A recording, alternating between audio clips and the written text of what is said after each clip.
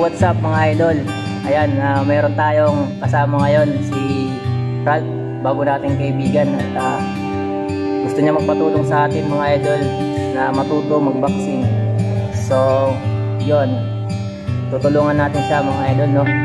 At hindi naman tayo madamot sa kaalaman ng pag, pagdating sa boxing no? So yon kita kits mga idol. Ay, ay, ay, lang ako. Okay.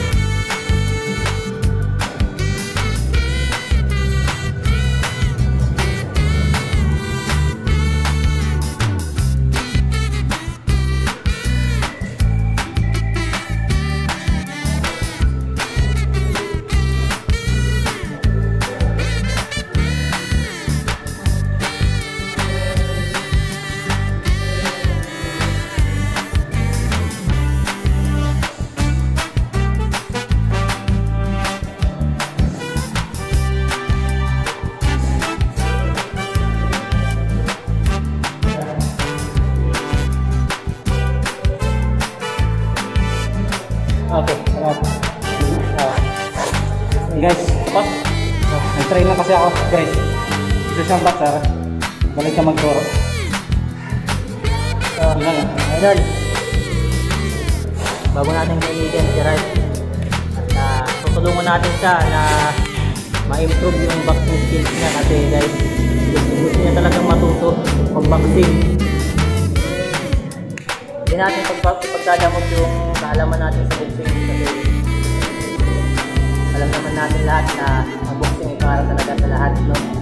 Bata man, matanda, parang problema sa akin yan. Handa akong magturo, no? Ang boxing talaga guys ay hindi talaga madali na sport. Ah, madali lang siyang tingnan sa video, boxing po. Pero sa actual na laban guys, ah, mahirap talaga siya guys. Lalo na kung nakakatanggap pa talaga ng mga lalakas na suntok. Eh, masakit talaga yun guys.